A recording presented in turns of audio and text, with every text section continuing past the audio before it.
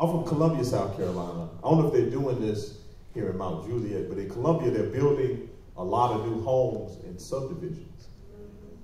But they're calling a lot of the neighborhoods plantations.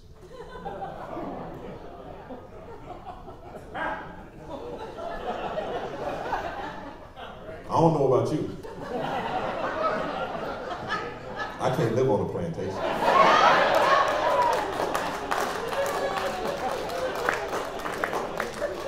We tried that already one time.